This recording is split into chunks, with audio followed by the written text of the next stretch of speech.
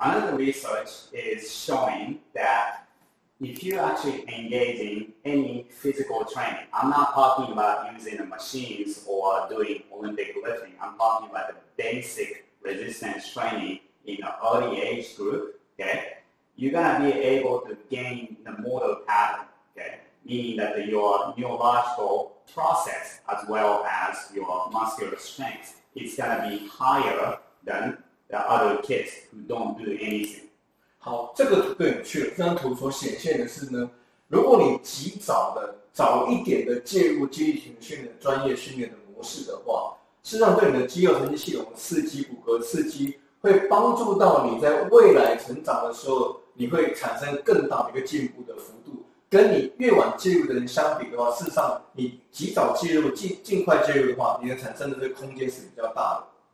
So in this graph. very interesting to see that when you're in early teenage uh, age, okay, if you engage in any physical activities and also any resistance training, okay, your improvement is drastically higher steepness, okay, compared to others. And then when you get to the late teenage time period, okay, you're going to be very high, okay, for compared to somebody who just started out from here, okay.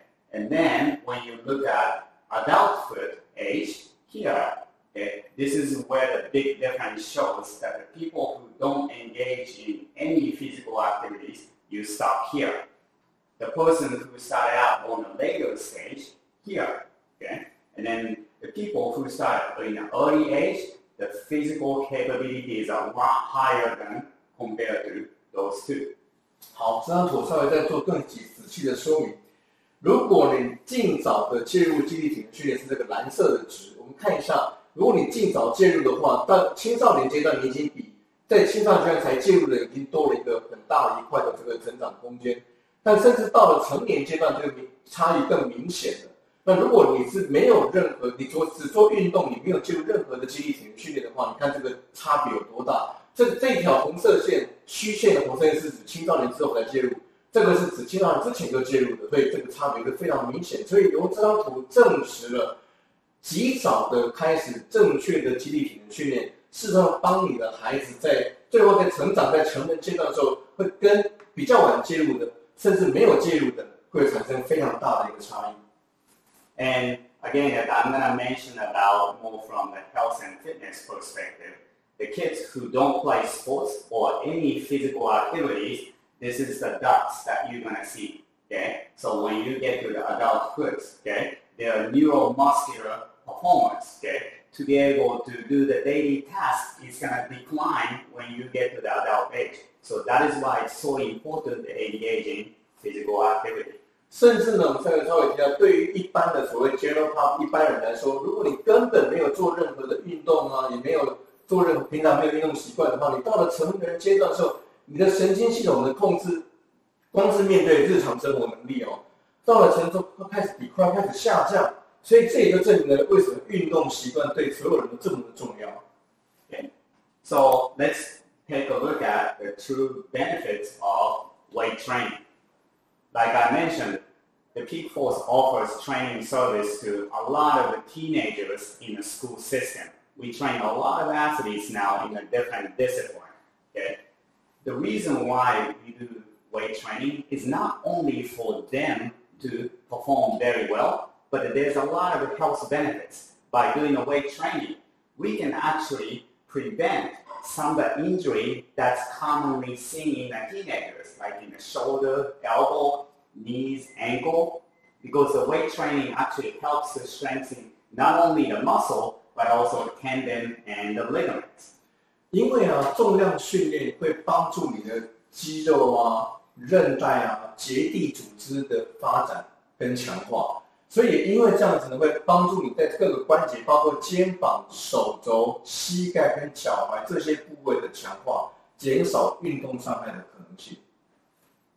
When we talk about the weight training, some parents even ask me, "Oh, the weight training not good because it makes you really tight, okay, bulky, okay." It's not the case, okay? It actually makes you more flexible by doing a lot of the functional training, okay?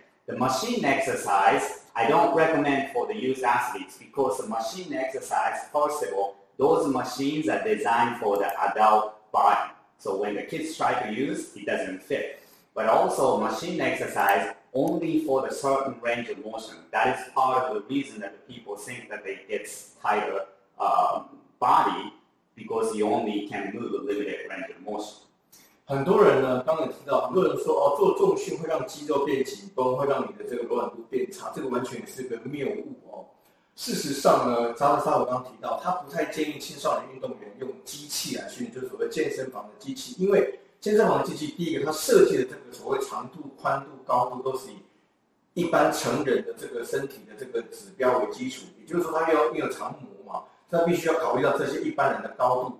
那你青少年运动员在这个部分都比较。呃，可能比较矮、比较短，然后所以不见得适合用机器的。第一个，第二个更重要的原因是因为机器的训练呢，它只训练某一个角度，所以它只训练你某一个角度的时候，事实上跟我们所要的这个能力是不一样的。我们真的要的是一个所谓叫做 functional training 的概念，是我要是一个身体完整的可以完成某一个工作呢，完成某一个动作的能力。所以它不是它所牵连的会是多关节、多肌肉群的，不会是单一肌肉群、单一关节的。So how to find okay, the correct way to help your kids? Okay, as I mentioned, you have to seek for professional help. Okay, the Google is not your professional help. Okay, you have to have a very good understanding. If you have a very good knowledge, okay, the Google can help you. But I really doubt that the people have that expert's knowledge to determine whether this information is correct or wrong, right? So you have to seek for professional help with people who have certifications and then also sufficient amount of experience. 再一次呢，大特沙罗建议大家不要轻易的通过 Google 得到你要的答案，除非你是个知识相当丰富、相相当丰沛、非常了解这个领域的人，否则你 Google 到资讯其实是没有能力做出正确与否的判断的。另外，他还是强烈建议去找到你住家附近啊，你能够接触到的专业人士，请他们来协助你，这才是一个正确的方式。The weight training does not mean that you do the training with the machines, and then that's a common perception that people have. The way we use the term weight training is not only for the specific exercises, it's a motor pattern specific exercise. So when I have those elementary school badminton kids, we do a lot of stuff. We use the resistance bands we use a medicine ball. We use a cones to do agility drills. We do a lot of motor pattern development because those kids need those type of stimulus rather than using the machines with weights. Okay, so that's not the exercise selection that I'm going for. I'm looking at more the motor pattern development exercises. 好，我们这边所提到的重量训练，并不是在机器上面做那种这个单单单肌单单肌肉单关节的这个动作。 我们还是希望是一个能够让你产生整个动作模式、动力链能够运用的一个一个训练的方法。所以，不管是训练羽毛球选手啊，或者训练速度滑冰的这些选手，我们考虑是全身的力量的整合跟输出，而不是单一关节、单一肌肉。Okay.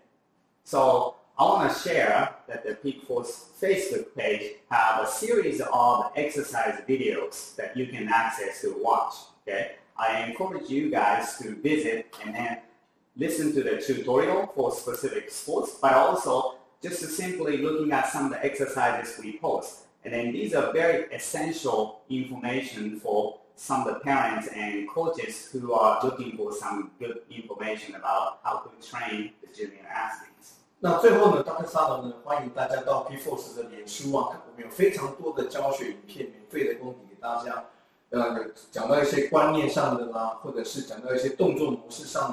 这些各位的家长跟教练都可以到脸上去看，能够增进各位在这方面的相关的知识。Okay. I hope the information is helpful for some of the parents and coaches to understand. What I'm trying to inform people watching this video is it's evidence-based information, not somebody's opinion. And then this is important that it's coming from the science to provide sufficient information.